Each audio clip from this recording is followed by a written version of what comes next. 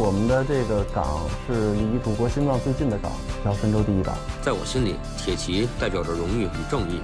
看到的、听到的，说的是家长里短，应该是一家人的这种感觉。群众的诉求有人听，群众的咨询有人答，群众的交管业务有人帮着办。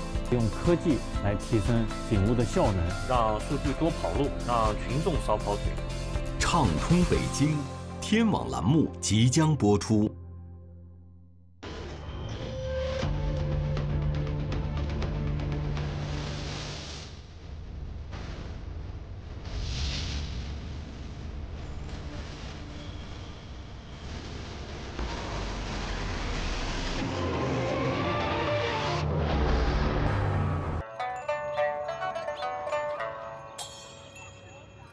对于胡同来说，感觉很熟悉，因为小时候我家是丰台的，也是一个近郊的一个村庄吧。从家里边的这种村庄的结构上来说，也是跟这个胡同是一样的这种结构，就跟我工作的这个地方的胡同一样，出门就能看见街坊，就能看见邻居，然后看到的、听到的。说的是家长里短，说的是今儿吃了吗？今儿吃什么？这种话语，和人们脸上看到的这种表情，和我小的时候是一样的。咱们呀，是胡同里长出来的孩子啊，咱们对于胡同的风土民情也应该更了解。胡同里讲的究的是温情啊，咱们就应该去用温情去解决这个问题。我个人感觉，不管是从街坊的。论辈上来说，还是我们天天能见到，生活当中能遇到，胡同里边应该是一个大家庭。我更由衷的感觉，应该是一家人的这种感觉。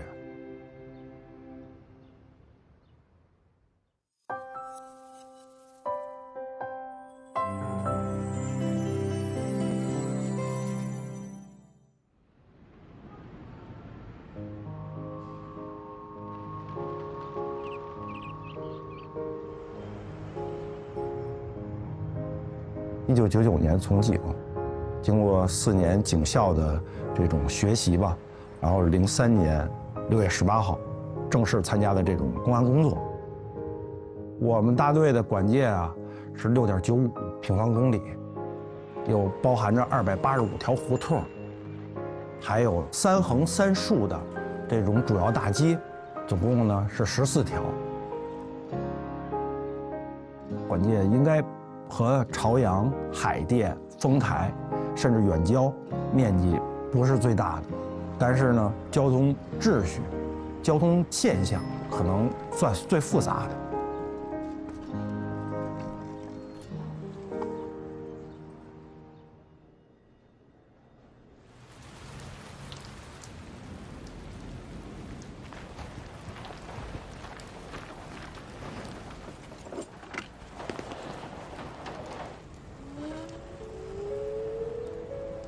现在我们去这个胡同金爷这儿，他手里边有一个特别着急的事儿，需要我现在马上过去处理一下。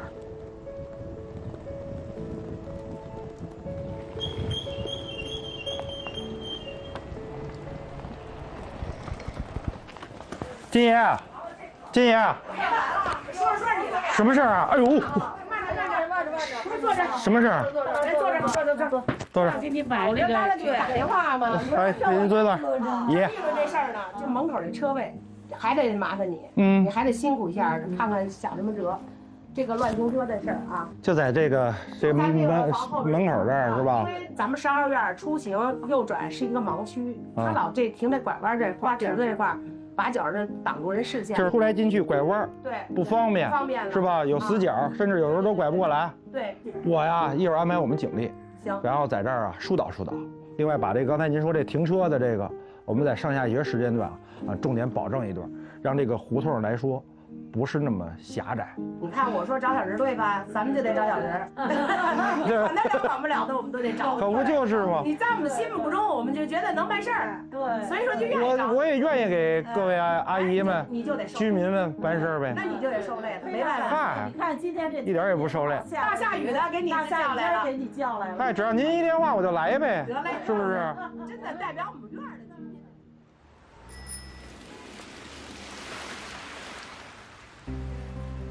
根据阿姨刚才说的情况啊，我们现在就去看看这个现场是什么样，然后把交通疏导一下。姐，你在这儿等不了，你得找一别的太不太碍事的地方。大哥，您停这儿可不成，拐不过来了，这弯太大了，多费劲啊！您找一别的地方，就得把这口儿得给给给给让出来。走走走走。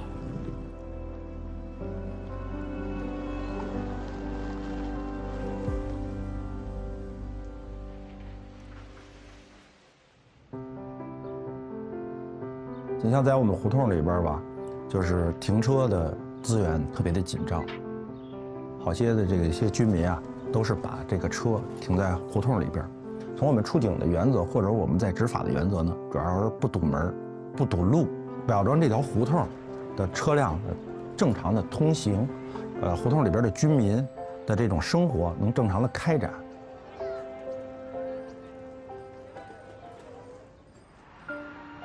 像这种长安街、平安大街、二环路、三环路这种叫人体的主动脉，但是我们胡同里边呢，知名不知名的胡同这么多，也跟人体的这种毛细血管应该是一样。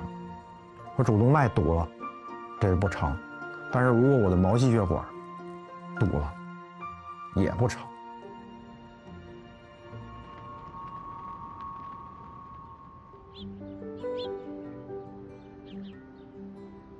我分配的第一天，就在东四交通大队，整整应该是二十年。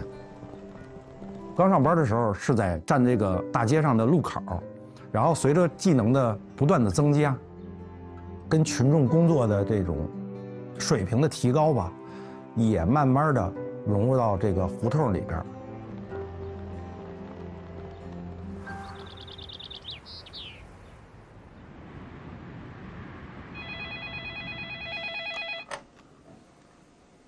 喂，王姐，啊，电动自行车上蹭了，啊，您就在队门口呢。行，那行，那行，那我直接下去。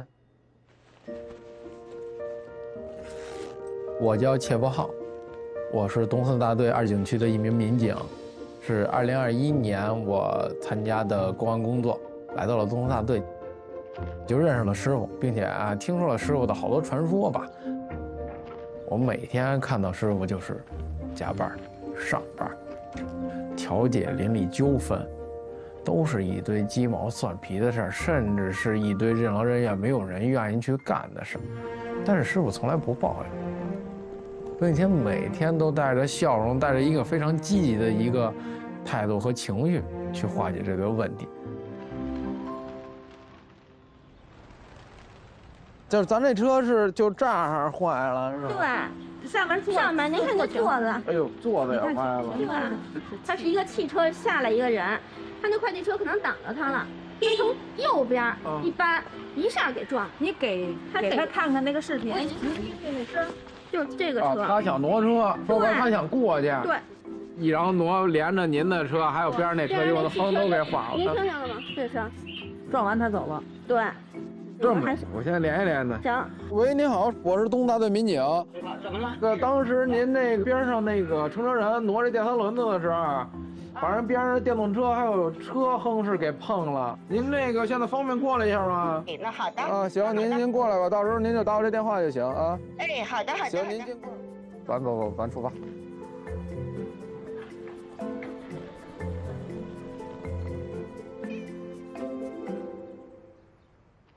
嗯，就这个车，这是怎么了？你说这。您说这怎么了？来，您看看。说实话啊，您这行为确实是有点过分。那么把车撞了，您走我怎么会？不是我的责任，我都赔偿，你还要我？您承认您干嘛来了？这好，您先看这个，您咱先看视频，先先不吵吵，不吵吵啊，不吵吵，不吵吵。挪那快递车把我车撞了，你看这哪儿撞了？哪儿？这前边是什么？咱们看清，你看了吧？我这那咱这儿这边，你说，你先说你这车哪儿坏了？你先说这个吧。你看怎么了？看看怎么了？咱咱慢慢说，慢慢说，别急，别急，别急，咱慢慢说。什么？其实咱们胡同里基本上都是小事儿，都是刮刮蹭蹭，但是一般老百姓来了都在气头上，刮谁家车谁都心疼。对于一名胡同交警来说啊，主要是以调解为主。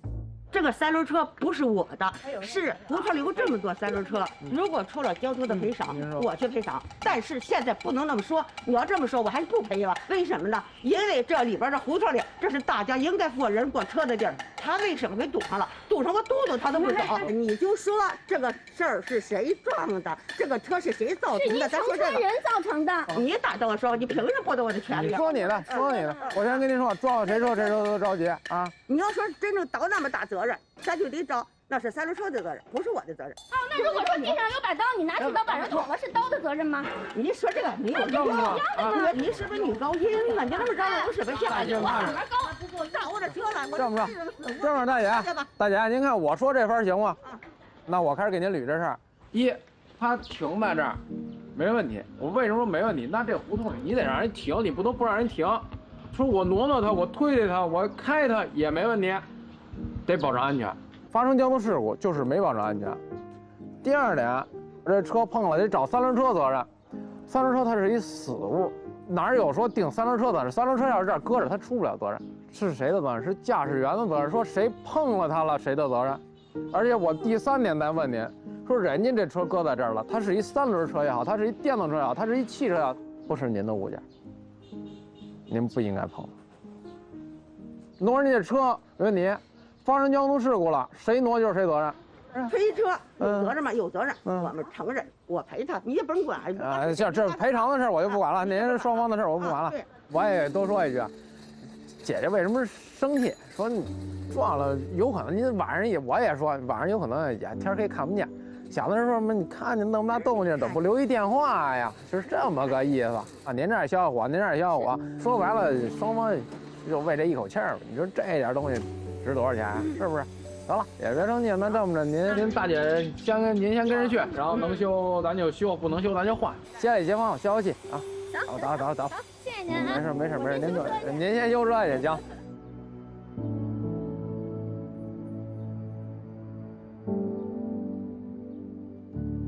呃，师傅教给我一点，说你不能以一个交通民警的身份去调解这起事故，你应该是以胡同里的孩子的身份去调解这起事故。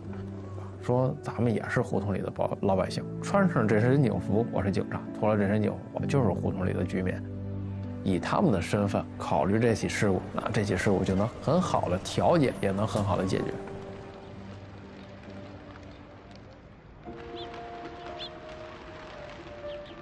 其实呢，说到头来，我也是北京孩子，自小也是住在胡同里。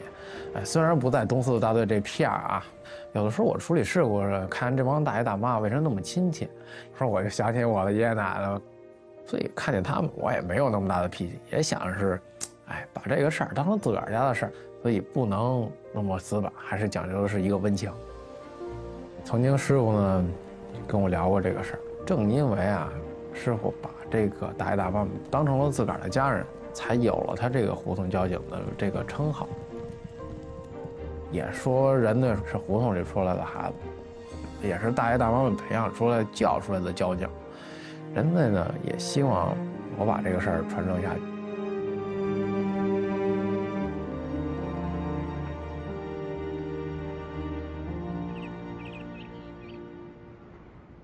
社区里边的交通。综合治理，像我们管界啊，主要是一些停车纠纷问题，以及呢这种交通类的矛盾的化解。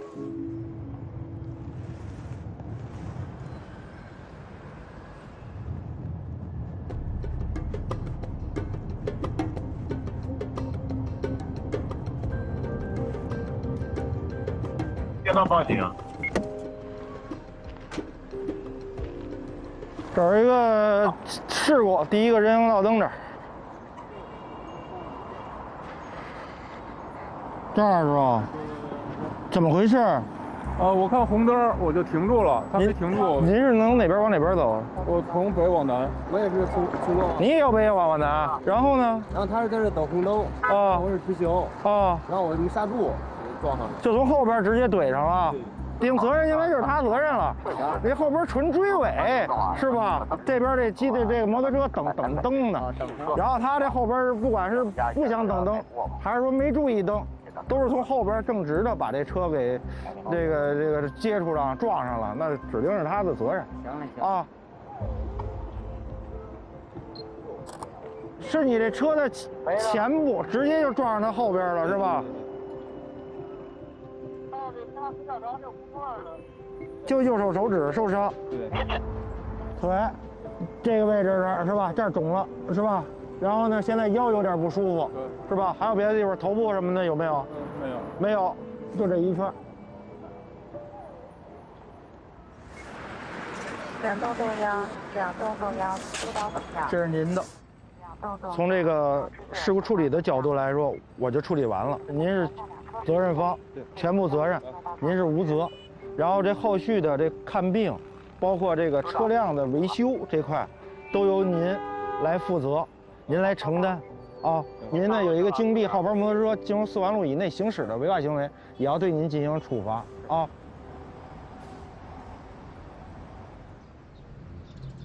呃，在我们这个管界里边呢，这种事故基本上是全类型的，什么样的这种事故都能遇到。但是呢，总的一个特点，呃，损失不大，这种伤亡情况比较小，但是解决起来确实不是那么好解决。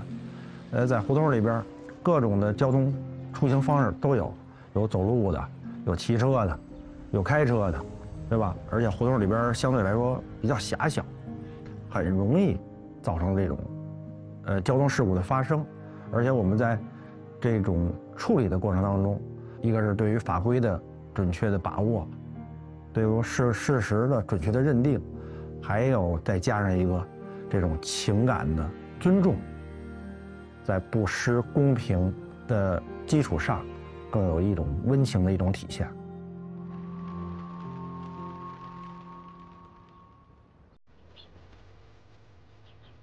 对于一个胡同交警来说啊，需要掌握两门本事。一个，那绝对是这个骑行的本事，串街走巷子。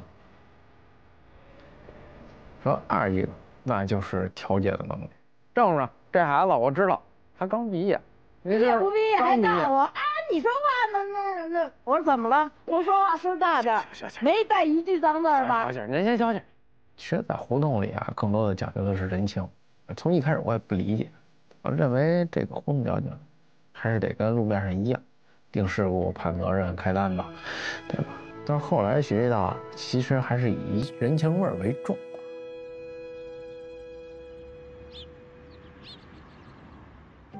这本来就窄，你你退一下，你退到那儿。啊，对，你上那窝里去。对，跟你说啊，你这车上面这东西就不允许了。这胡同里本来坑就多，咣当一颠，把它掉下来了。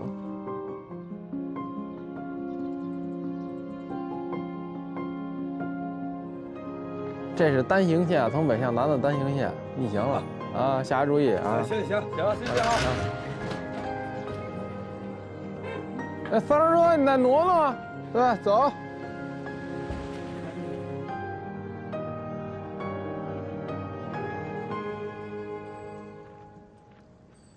人队这么多年啊，也做了很多服务老百姓的事儿。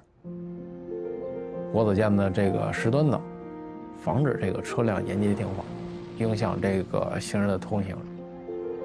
一赶到节假日嘛，那人流量是很大的。国子监里那肯定那是堵得水泄不通的。我当时还问，问咱家为什么这管街里非得设计成方的呀？我说你想，这儿大部分来的都是游客，胡同里啊，大部分都是大爷大妈，岁数大。呃，游客溜到这儿溜累了，大爷大妈们出去买菜买累了，找这一坐，最起码有个地儿能歇。从这堆举动来说，确实也是真真切切影响到了我。我呢也想为这个胡同里的老百姓做一些实事。哎，您好，我是东大队民警啊。您这车是一个银灰色奔驰是吧？在东四条这儿停了一辆灰色的大众途观呀。确实，从这个胡同实际情况来说啊，会有酒停车的一个现象。我呢也是先是跟这个老百姓进行电话沟通啊，说方不方便进行咱们这么一个简单的一个登记，过过救护车，过个消防车，这种情况下能及时的联系到老百姓。清理胡同中的这个僵尸车、违停车，也是一个首要的任务。最大限度的设置，或者说开辟道路停车的这种资源，以及呢规范我们在这种胡同里边的这种停车的秩序。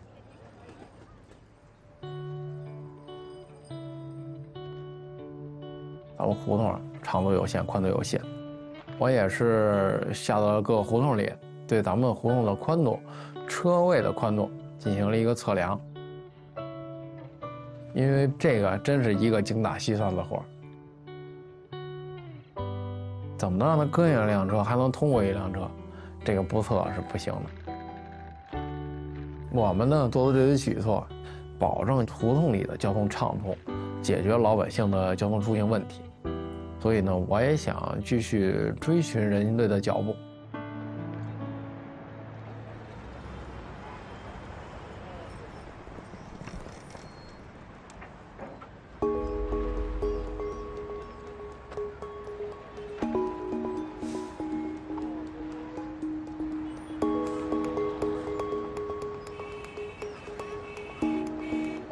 报警，您受伤了吗？我没有，没有，我就那我就写受伤人数一了啊。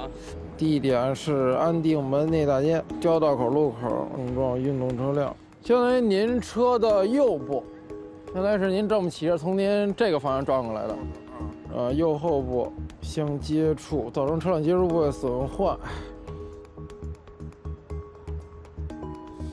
来，我给双方念一下事故事实，如果没问题，在我这个手机上签字，好吧？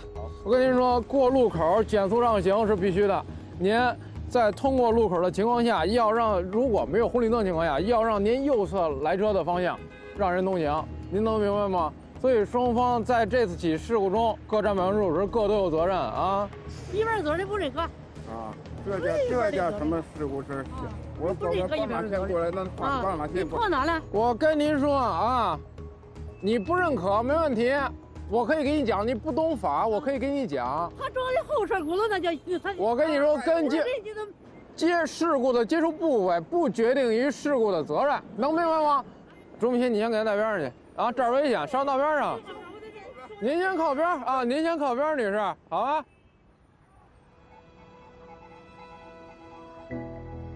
事故已经发生了，咱们按照我的感觉，先把家属安抚到道边上。咱们进行拍照之后，赶紧解决完事故，赶紧说撤离到安全地带嘛。说家属说咱们评理，咱们评事儿，等事故处理完了，咱再慢慢聊，慢慢说都可以，但是不能站在大马路上这么聊，很危险。我给双方定一下事故责任啊，车辆通过没有交通信号灯控制或者交通警察指挥交通标志标线规定优先通行的交叉路口时，未让右方道路来车方向先行的过错行为，负事故同等责任啊。您一半责任，您一半责任，各占百分之五十啊！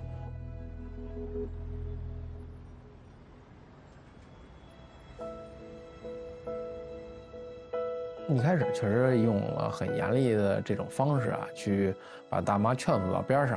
后来呢，也要找大妈聊，我也希望大妈能理解咱们民警的工作。我知道您谁不着急，碰谁家老头谁不着急。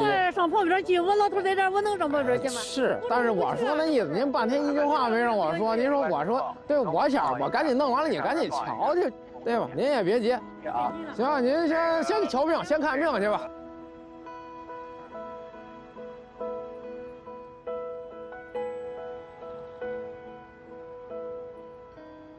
那咱们到现场呢，肯定也是该该该照相照相，对吧？该这个确定事故事实，确定事故事实，那这咱们就一定要严谨，并且说一定要拿出咱们的法律知识，一定要严谨的去去断定这个事故责任了。